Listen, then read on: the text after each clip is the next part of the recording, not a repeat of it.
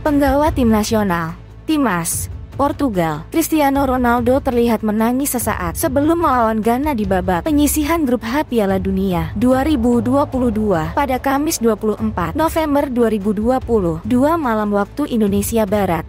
Tampaknya Ronaldo begitu emosional menjalani Piala Dunia kelima tersebut. Ya, Ronaldo tampak menangis saat lagu kebanggaan Portugal dilantunkan.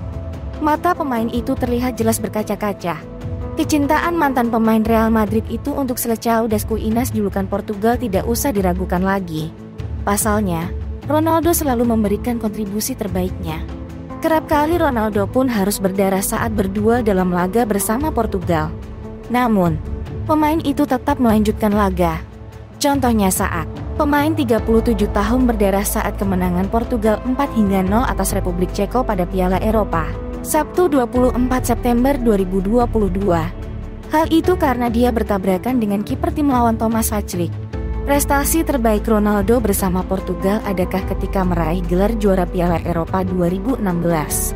Hal itu terbilang membanggakan karena Portugal belum pernah meraih juara tersebut sebelumnya. Selain itu, Ronaldo juga memecahkan rekor dalam Piala Dunia 2022.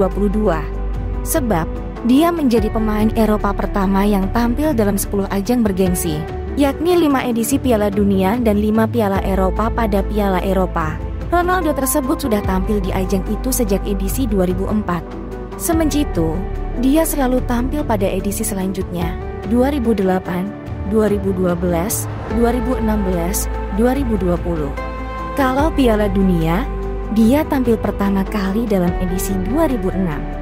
Ronaldo pun selalu ikut serta dalam edisi selanjutnya, yaitu 2010, 2014, 2018, dan 2022.